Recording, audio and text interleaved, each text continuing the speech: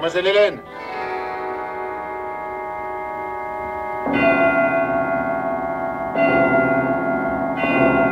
Oh, mademoiselle Hélène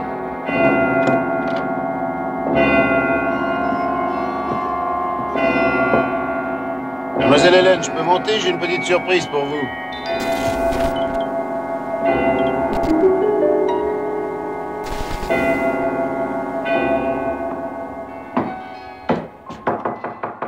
Dans une scène centrale du boucher de Claude Chabrol, Mademoiselle Jeanne, interprétée par Stéphane Audran, soupçonne Popol, incarné par Jean-Yann, d'être l'assassin qui ensanglante la région. Celui-ci arrive devant chez elle, elle lui ouvre. La séquence est construite très simplement, un plan posant la situation, puis des plans rapprochés sur les deux personnages qui se font face. Ah, vous êtes crevé Une tension s'installe, et pour comprendre comment Chabrol la travaille, il suffit de mettre en parallèle cette scène avec une autre ayant eu lieu quelques minutes plus tôt. Les deux scènes reposent sur une situation identique. Le même lieu, les deux mêmes personnages discutant, assis à table. Pourtant, les atmosphères sont radicalement opposées. La première pleine de légèreté, la seconde emplie de noirceur. Cette nuance de ton repose évidemment sur le jeu des comédiens, mais aussi, en bonne partie, sur les choix visuels du réalisateur. Dans la première scène, les deux personnages s'installent côte à côte et donc proches l'un de l'autre, la chaise pour enfants sur laquelle s'assoit Jean-Yann amenant un côté presque comique. Mais vous pouvez vous mettre là Non, ça va, je suis bien. L'un fume tranquillement, l'autre est concentré sur ses corrections. La décontraction est de mise. La lumière est sans aspérité, et Chabrol rassemble ses acteurs dans un seul plan, montrant une certaine complicité entre les deux héros. Une scène simple donc, presque anecdotique. Il faisait si chaud que l'air était comme par-dessus. Je sais pas.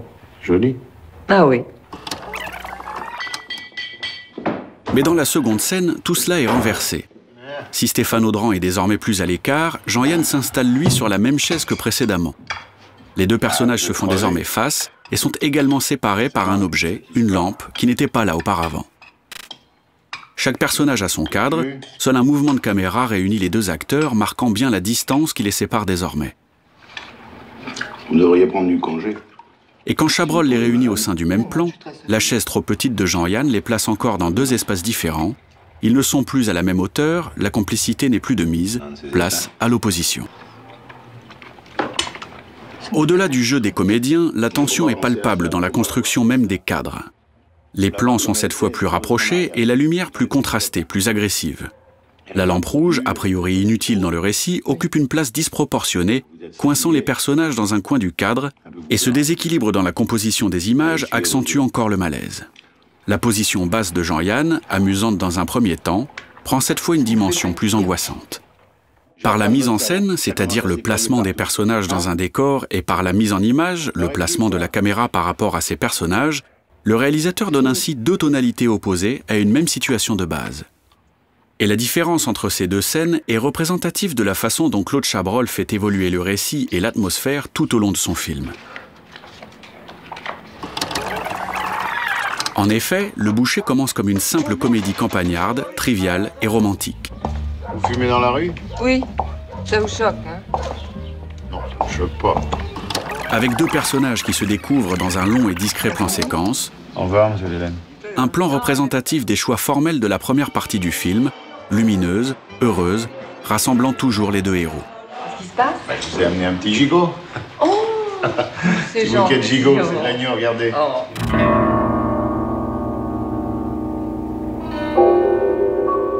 Mais peu à peu, l'ambiance vire au film noir. Les scènes de nuit, ou sous la pluie, prennent le dessus. Les angles de prise de vue deviennent plus marqués, les mouvements de caméra plus signifiants, les contrastes plus affirmés. Claude Chabrol multiplie les idées visuelles pour instiller le malaise, montrant par exemple le trouble de l'héroïne en la filmant au travers d'une fenêtre dépolie.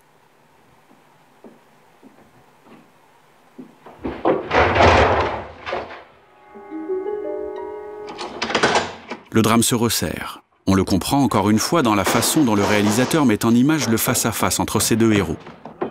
L'insouciance de la rencontre initiale n'existe plus. Mademoiselle Hélène, ouvrez-moi, je voudrais vous parler. Si les deux personnages partagent toujours certains plans, ils sont désormais le plus souvent séparés par une fenêtre, par une lumière quasi expressionniste Alors j'ai compris que vous saviez que c'était moi. ou par des champs contre champs. Plus rien ne peut les rassembler, Et l'histoire d'amour prend alors des atours de contes de fées cauchemardesques. Débutant comme une comédie légère, Le Boucher se conclut ainsi dans une ambiance quasi fantastique.